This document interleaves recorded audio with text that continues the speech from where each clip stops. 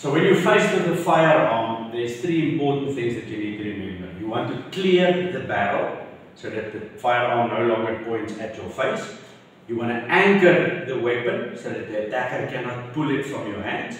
And then you want to extract the weapon, in other words, take it from his hands, followed by counter-attacking, even shooting your attacker. Now just as a disclaimer, this is a toy gun, so if I point a gun at Yolanda or she points a gun at me, this is only a toy gun. So let's start with the first scenario. My attacker is in front of me, he's holding the gun against my head. Now, important with gun defense, we only try to take a gun if there's contact with your body because action is faster than reaction. So if there's distance between us and I try to grab that weapon, I will probably be too slow. Right, so when I feel contact with the weapon, the first thing that I need to do is my hands need to go high. Now I recommend holding your hands as close as possible to the gun, look as scared as you can, and then from there on we're going to take the gun. So just to change the angle slightly. So the first thing we're going to do, we're going to move to the dead side. In other words, to the outside of your attacker as fast as we can. Clearing the barrel. So that's the direction that we're moving in.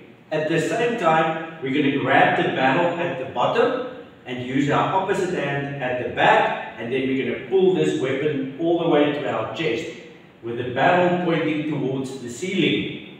So it's going to look something like this.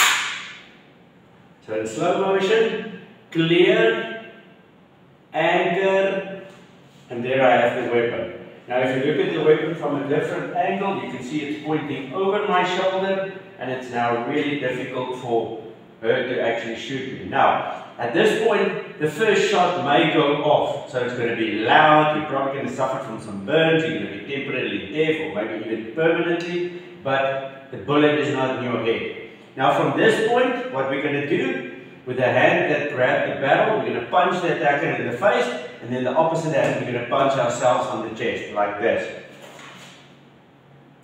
Right, so it's a push and a pull action.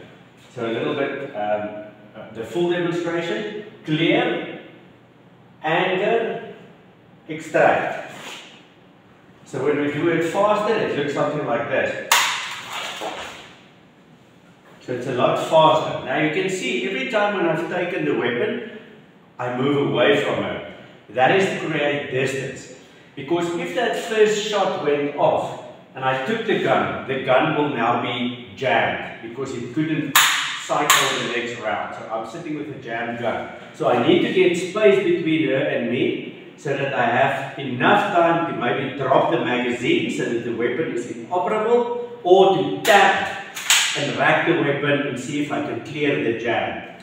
Bear in mind, trying to clear a weapon is difficult under normal circumstances. Imagine trying to do that under stress when the bad guy is coming for you.